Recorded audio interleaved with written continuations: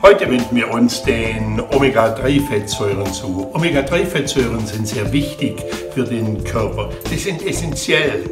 Essentiell heißt nichts anderes, als dass man diese Fettsäuren täglich mit der Nahrung zuführen muss, da sie vom Körper selbst nicht hergestellt werden können. Bei den Fettsäuren unterscheiden wir zwischen gesättigten Fettsäuren, Transfetten, einfach ungesättigten und mehrfach ungesättigten Fettsäuren. Die mehrfach ungesättigten Omega-3-Fettsäuren werden wieder in drei Gruppen aufgeteilt. In EPA, Eicosapentaensäure, DHA, Docosahexaensäure und ALA, Alpha-Linolensäure. Nicht zu verwechseln mit der Linolsäure. EPA und DHA stammen aus Algen, aber die Algen werden ja von kleinsten Krebsen gefressen, die dann von kleinen Fischen wiederum vertilgt werden und die kleinen Fische werden wieder von größeren Fischen gefressen und so weiter und so fort, bis sie letztendlich am Schluss bei uns als Speisefisch auf dem Teller landen. Die Omega-3-Fettsäure ALA findet man ausschließlich in Pflanzen. In ihrem eigentlichen Zustand kann sie so aber vom Körper nicht verwendet werden. Deshalb muss sie im Körper zu EPA und DHA umgewandelt werden. Das gelingt aber nur in geringem Maße, nämlich zu drei bis höchstens zehn Prozent. Deshalb ist es auch wichtig, dass täglich mit EPA und DHA, den maritimen Fettsäuren, ergänzt wird. Aller findet man in Leinsamen, somit Leinöl, Walnüssen und somit Walnussöl, in Hanföl und in Rapsöl. Unser Gehirn besteht aus etwa 60% Fett, davon sind aber ca. 20% Omega-3-Fettsäuren. Diese kommen aber auch unserem Herzen zugute denn die Fließeigenschaften des Blutes werden verbessert und zudem kommt es zu einer Verbesserung des Zellstoffwechsels. Die Augen profitieren davon. Die Sehkraft wird nämlich verbessert. Und bei unserem Immunsystem sorgen Omega-3-Fettsäuren für eine gute Immunmodulation. Omega-3-Fettsäuren können Entzündung und Schmerz bei rheumatoider Arthritis lindern. Man muss wissen, dass bei zu niedrigen Omega-3-Spiegeln das Risiko, einen plötzlichen Herztod zu erleiden, bis zu zehnmal höher ist als bei hohen Omega-3-Spiegeln. Das ist gerade für Leistungssportler sehr wichtig. Muskelkater können größtenteils oder ganz vermieden werden. Auch bei majoren Depressionen sind Omega-3-Fettsäuren wirksam. Und sie dienen auch der Vorbeugung vor Alzheimer. Zudem haben sie positive Effekte bei Krebs.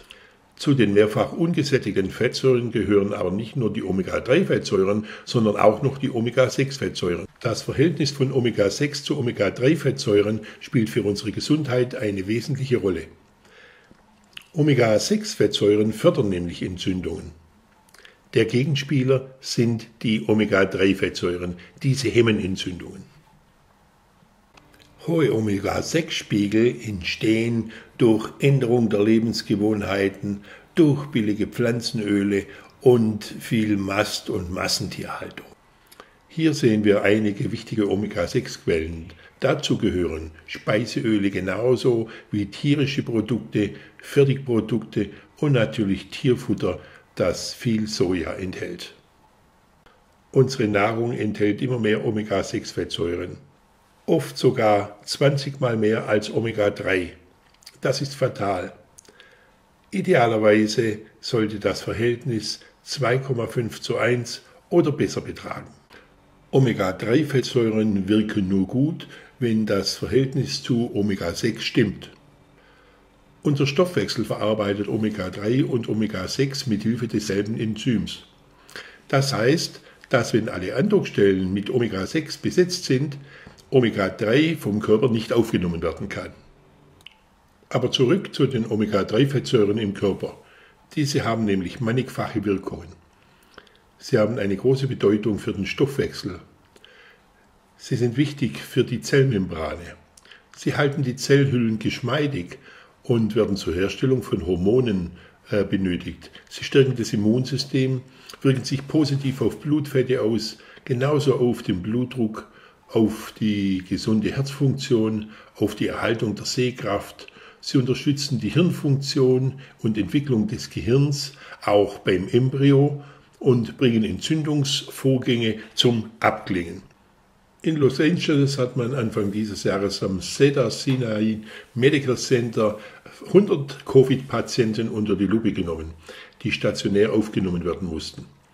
Man hat nach dem Omega-3-Index geschaut und festgestellt, dass von 100 Patienten 75 Patienten einen Index unter 5,7 Prozent aufwiesen und 25 Prozent einen Index über 5,7 Prozent. Am Ende hat man festgestellt, dass die Sterberate bei denjenigen, die gut mit Omega-3 versorgt waren, lediglich bei 25 Prozent lag im Verhältnis zu den restlichen Patienten. An einer anderen Studie im Jahr 2020 nahmen 8000 Patienten teil. Die Voraussetzungen waren, dass alle Teilnehmer ein hohes Risiko für kardiovaskuläre Ereignisse hatten und alle Teilnehmer Cholesterinsenker einnahmen. Die Hälfte der Teilnehmer erhielten 4 Gramm Omega-3-Fettsäuren und die andere Hälfte der Teilnehmer erhielt lediglich ein Placebo. Die Dauer der Beobachtungsstudie war 4,9 Jahre im Durchschnitt. Das Ergebnis war enorm. Die Gesamtsterblichkeit ging um ca. 40 Prozent zurück, die Schlaganfälle um ca. 50 Prozent und die Stents, Bypässe und Katheteruntersuchungen gingen um ca. 80 Prozent zurück. Was die Dosierung bei Omega-3-Fettsäuren anbelangt, so sollten Sie nicht unter 2 Gramm täglich dosieren. In vielen Fällen wird es sogar so sein, dass Sie 3 bis 4 Gramm täglich benötigen, um zum Erfolg zu kommen. Die Einnahme sollte aber stets zum Essen erfolgen und nicht separat. Suchen Sie sich ein gutes Öl. Eines, das sehr gut bekömmlich ist, wo Sie nicht aufstoßen danach und das frei ist von Schwermetallen. Fordern Sie einfach die Analysen der, bei den Herstellern direkt an. Die, die Ihnen dann antworten, das sind dann die seriösen. Und jetzt wünsche ich Ihnen viel Erfolg.